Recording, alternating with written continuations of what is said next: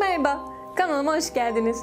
Bu videomda sizlere çoğumuzun okuduğu, tamam henüz okumadıysa bile mutlaka isimlerini sık sık duyduğu kitapların bir zamanlar yani yayınlandığı ilk zamanlar geçirdiği maceralardan bahsetmek istiyorum. Tamam lafı çok uzatmadan hemen konuya giriyorum.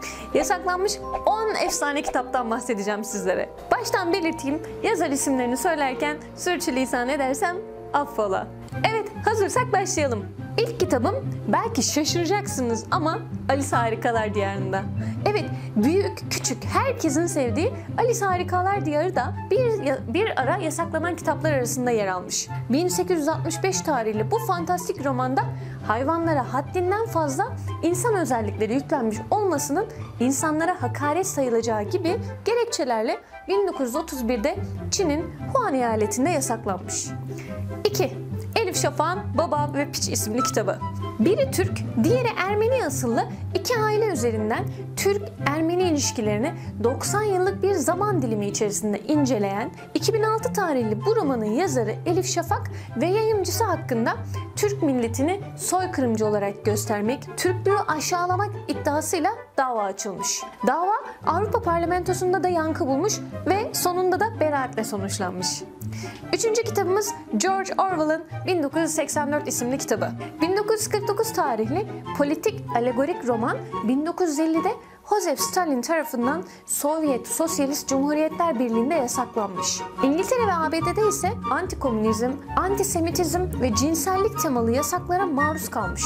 Kitap 1962'deki Küba füze krizi sırasında ABD ve İngiltere'de de yasaklanmış. Her ne kadar Orwell her fırsatta asla bir komünist olmadığını, kitabında Rusya'da uygulanan komünizmin insanlığı nereye götüreceği konusunda yazdığını ve kitabın bir eleştirel metin olduğunu söylese de ölümünden 31 yıl sonra kitabın yasaklanmasına engel olamamış. Dördüncü kitabımız Binbir Gece Masalları. Orta çağda kaleme alınmış Binbir Gece Masalları Şehrazat'ın hükümdar kocasına anlattığı öykülerden oluşuyor. Denizci Simbat, Alaaddin'in Sihirli Lambası, Ali Baba ve Kırk Haramiler gibi masalların bulunduğu kitap Amerika'da 1926'da toplum ahlakını bozabilecek müstehcen bölümlerin yer aldığı gerekçesiyle yasaklanmış.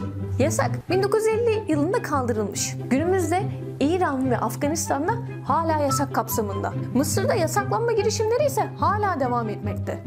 Beşinci kitabımız Harper Lee'nin Bülbül Öldürmek isimli kitabı. 1960 tarihli Pulitzer ödüllü roman 1930'ların Alabama'sında ırkçılığı ve eşitsizliği ele alıyor ve eleştiriyordu. Ama garip bir biçimde ırkçılık ve küfür içerdiği için yasaklanmış. Altıncı kitabımız Aldous Huxley'in, umarım doğru söylüyorumdur, Cesur Yeni Dünya isimli kitabı.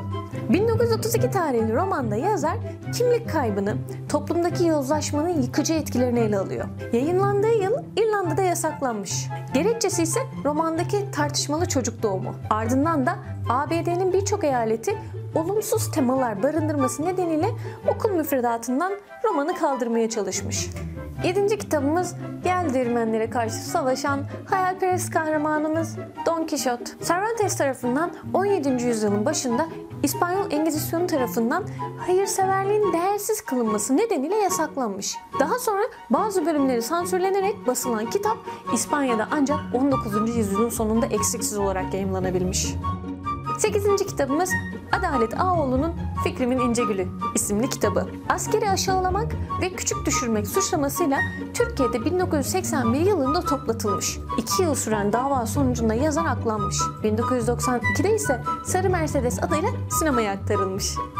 Dokuzuncu kitabımız yine George Orwell'ın Hayvan Çiftliği isimli kitabı. 1945 tarihli Fable tarzındaki siyasi roman Hayvan Çiftliği de yazar Stalin'i ve kendi ülkesi İngiltere'yi eleştiriyor. Bunu dikkate alan ABD ve İngiltere İkinci Dünya Savaşı sırasındaki müttefikleri Stalin'i gücendirmemek için savaşın en kritik döneminde kitabı basmamayı tercih ediyor. Afrika'da yozlaşmış bazı liderler kitaptaki alıntıları üzerlerine alındığı için 1991'de Kenya'da da yasaklanmış. 10. ve sonuncu kitabımız gelmiş geçmiş en iyi dünya klasikleri arasında yer alan Dostoyevski'nin Suç ve Ceza isimli kitabı. 1866 tarihli roman Rusya'da gerici olduğu öne sürülerek Polonya'da ise kötümser olmasına dayandırılarak yasaklanmış. Çok ilginç değil mi? Neyse. Evet, şimdilik listemde ilk duyduğumda beni çok şaşırtan kitaplara yer verdim. Fakat yasaklanan kitaplar bu kadarla sınırlı değil tabii ki. Belki bu videomun da devamı gelir ne dersiniz? Videomu beğendiyseniz beğenmeyi ve kanalıma abone olmayı unutmayın lütfen. Herkese keyifli okumalar diliyorum. Bir sonraki videomda görüşmek üzere. Hoşçakalın.